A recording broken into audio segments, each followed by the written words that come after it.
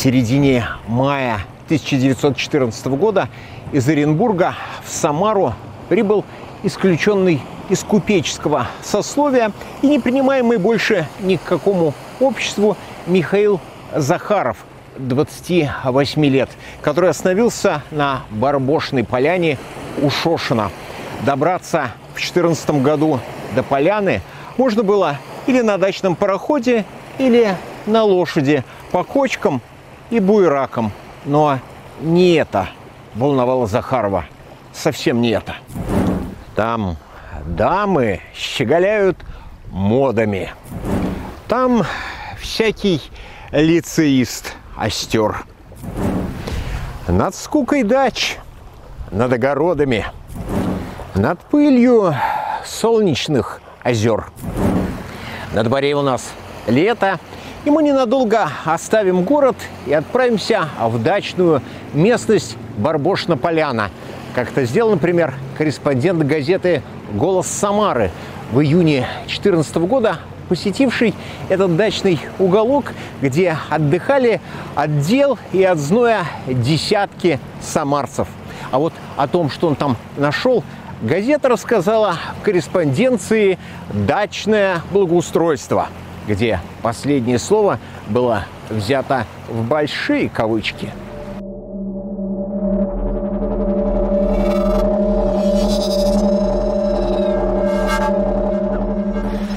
Кто знает Барбошину поляну давно, писала газета, тот не может не обратить внимания на то, что вместе с появлением в ней водопровода и электрического освещения, а также ресторана с музыкой, из года в год из этой местности исчезает многое весьма ценное для нее.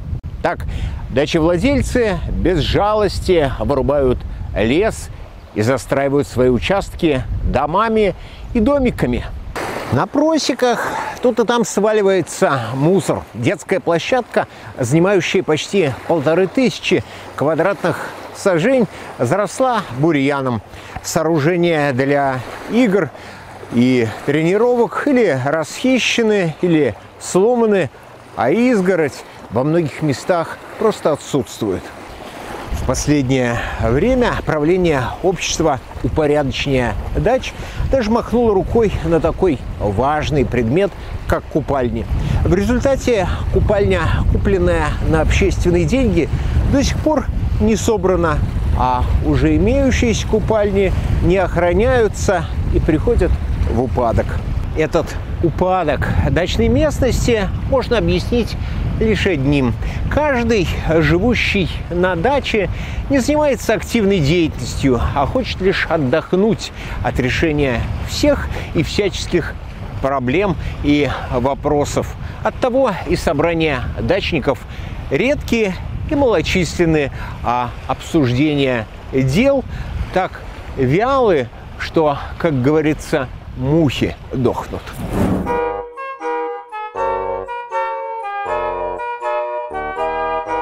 Собрания редкие и малочисленные. Мухи дохнут от скуки, а мы пока дадим слово еще одному автору «Голоса Самары» в мае 1914 года, писавшему так. Вот-вот большинство самарцев потянутся на дачи. Уж и теперь, то здесь, то там слышится приглашение. Обязательно приезжайте к нам на дачу, вслед за которыми начинаются длинные объяснения, как эту дачу найти. Надо заметить, что все эти признаки так одинаковы, что когда вздумаешь по ним отыскать дачу Ивана Ивановича, то непременно попадешь к Петру Петровичу. А впрочем, не все ли равно? Ведь условия самарских дач везде одинаковые. Неудобство сообщения, дороговизна, плохие запоры и мертвая скука. Главное место среди всех самарских дачных достопримечательностей, вне всякого сомнения, занимает так называемая Барбашина поляна. Туда устремляются празднично настроенные самарцы, будь то благонамеренный чиновник или благодушный торговец, а то и удалой разгульный молодец или попросту горчишник. Там в празднике гремит музыка, а по деревянной лестнице разгуливают пары. Это там, у столиков, благодушествуют за самоварчиками солидные люди, а с реки несутся звуки гармоники. Да уж, общие собрания дачевладельцев редки и малочисленны. Обсуждение вопросов на них идет так вяло, что, как говорится, мухи дохнут, писала газета «Голос Самары» в 1914 году.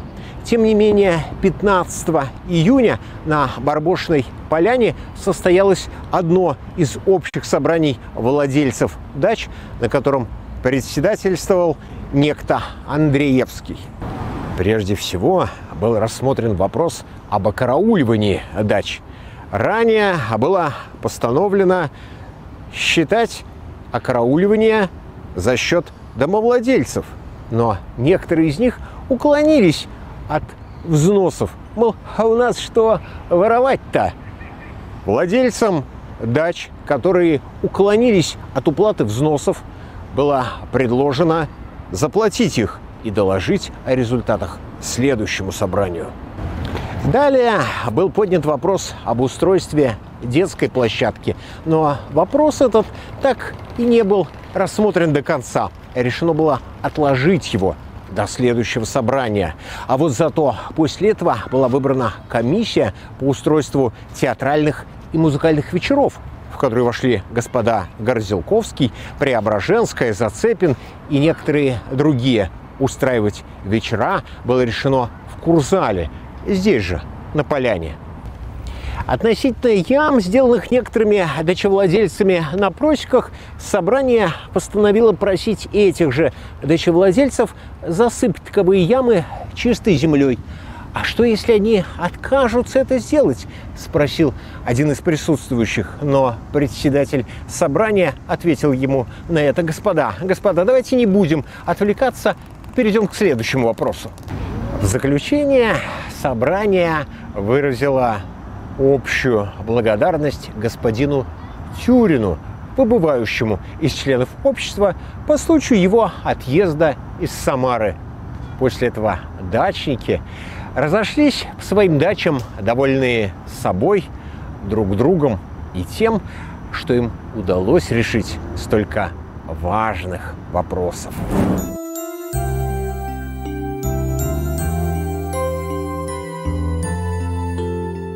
А мы, меж тем, продолжаем знакомить вас с заметкой из «Голоса Самары» май 1914 года. Время от времени к пристани подваливает пароходишка и, выбросив из своих недр кучки людей, опять отправляется в город за новыми пассажирами. У всех приехавших красный и растрепанный вид, а у дам помяты прически, что вполне понятно. Прежде чем сюда добраться, им пришлось прождать часа два-три на пристани и выдержать не одну серьезную схватку схватку, после чего, примостившись где-нибудь около трубы и изнемогая от жара, они плыли сюда в ожидании дачного отдыха.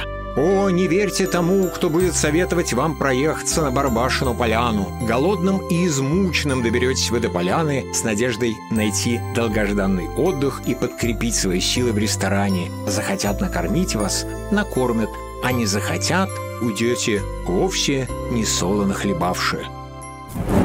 Ну а мы, между тем, поговорим о происшествиях, когда-то случавшихся и здесь, в дачной местности Барбошина-Поляна. Так, в июне 1914 года на одной из просек сгорела дача, принадлежавшая Абраму Хорушу и стоившая 3000 рублей. А у проживавшего на этой даче Егорова Андреева сгорело разного имущества на 2000. Причиной пожара – стала неосторожность в обращении с огнем. В августе этого же года в лесу в шалаше был обнаружен шинок, принадлежавший крестьянину Кузьме Егоровичу Назарову. При обыске шинка было найдено много казенного вина в посуде, о происхождении которого Назаров на отрез отказался дать хоть какие-то показания. А вот 30 августа по дороге на Барбошину поляну был смят автомобилем сын надворного советника Финикова Алексей, 11 лет. В результате аварии мальчик получил ушибы всего тела и обеих ног, а виновник аварии с места происшествия скрылся. В ночь на 4 сентября у владельца одной из дач на Барбошной поляне были срезаны провода для электрического освещения на сумму в 110 рублей. При этом грабителей не остановила ни опасность этого предприятия, ни очевидная трудность в реализации похищенного. 110 лет назад Самара была относительно небольшим городом, и вести о подобных хищениях распространялись очень быстро. Ну и на пасашок. Чуть не трагедия. Называлась заметка в той же самой газете «Голос Самары», опубликованная в одном из летних номеров 1914 года. Рассказывалось в этой заметке про пароход Лобастова номер 12, который, направляясь на поляну, едва не врезался в баржу. Пассажиры парохода еще долго не могли успокоиться, резюмировал автор заметки, и наградили капитана весьма нелестными для него эпитетами.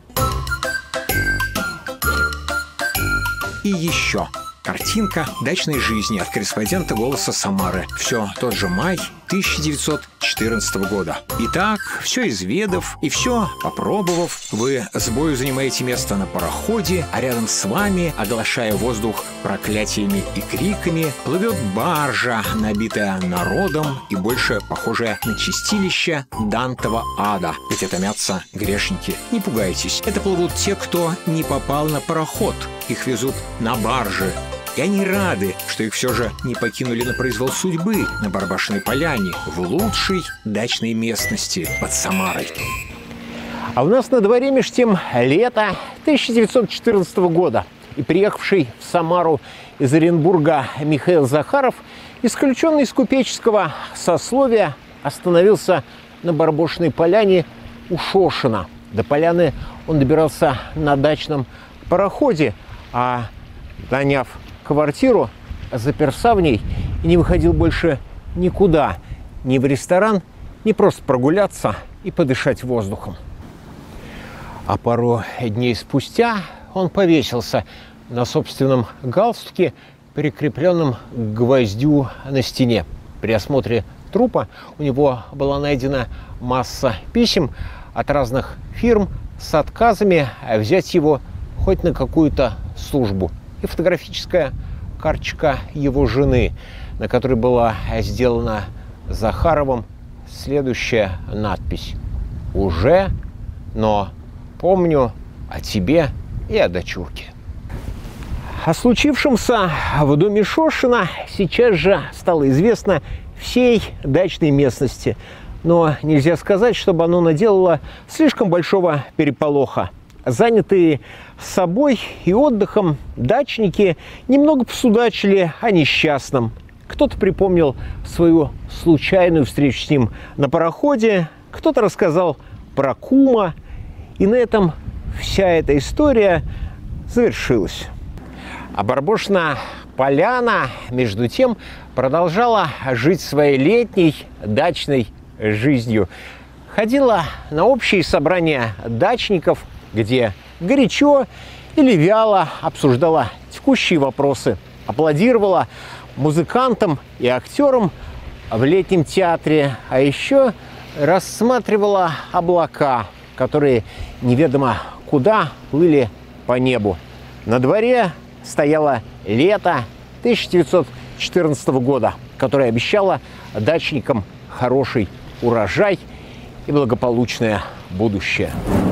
Среди этой пошлости таинственной скажи, что делать мне с тобой, недостижимой и единственной, как вечер, дымно-голубой.